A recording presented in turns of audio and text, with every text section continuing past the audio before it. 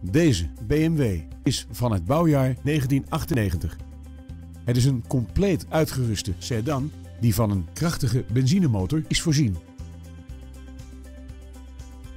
In deze auto vindt u een 6-cilinder benzinemotor en een handgeschakelde 5-versnellingsbak.